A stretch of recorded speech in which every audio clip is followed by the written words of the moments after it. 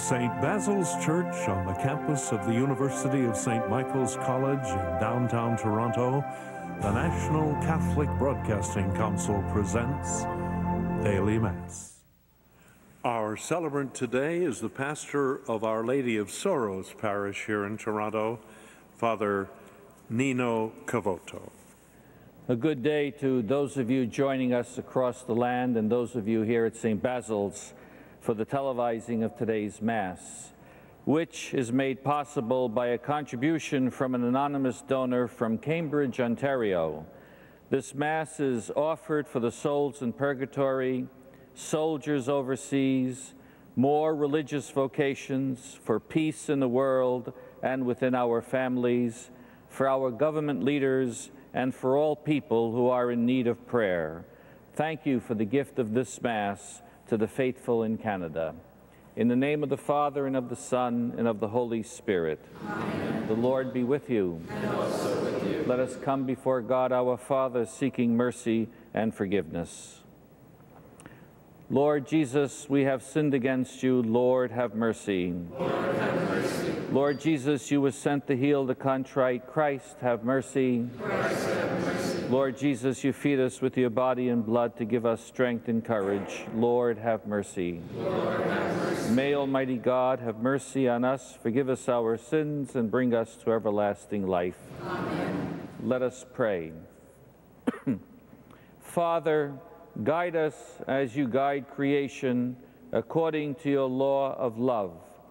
May we love one another and come to perfection in the eternal life prepared for us and grant this to us through Christ our Lord. Amen. A reading from the letter of St. Paul to the Philippians. Brothers and sisters, join in imitating me and observe those who live according to the example you have in us. For many live as enemies of the cross of Christ. I have often told you of them, and now I tell you even with tears. Their end is destruction, their God is the belly, and their glory is in their shame. Their minds are set on earthly things. But our citizenship is in heaven, and it is from there that we are expecting a Savior, the Lord Jesus Christ. He will transform the body of our humiliation that it may be conformed to the body of his glory, by the power that also enables him to make all things subject to himself. Therefore, my brothers and sisters, whom I love and long for, my joy and crown, stand firm in the Lord in this way, my beloved the word of the Lord.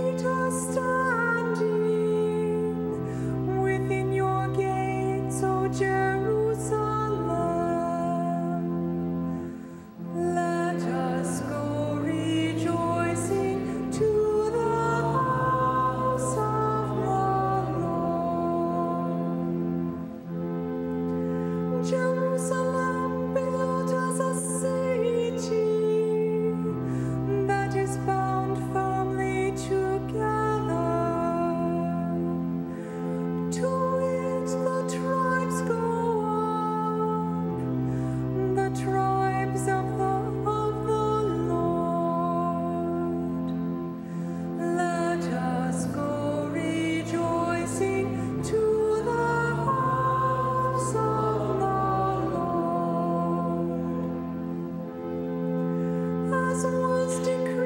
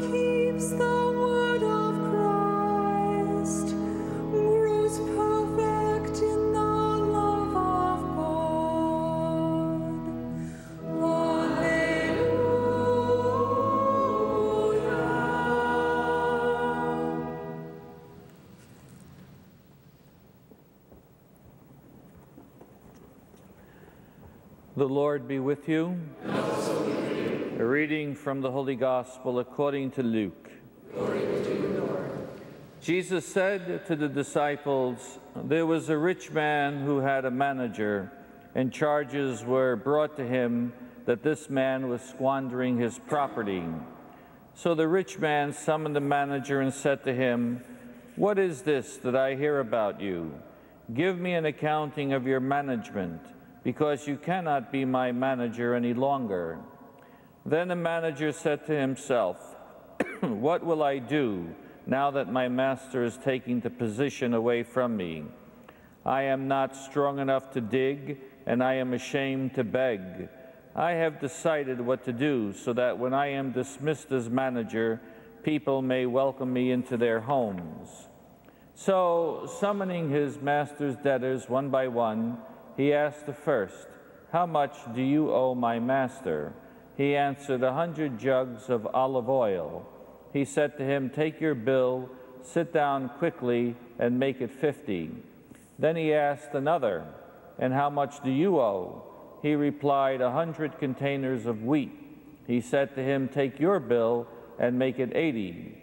And his master commended the dishonest manager because he had acted shrewdly. For the children of this age are more shrewd in dealing with their own generation than are the children of light. The Gospel of the Lord. Praise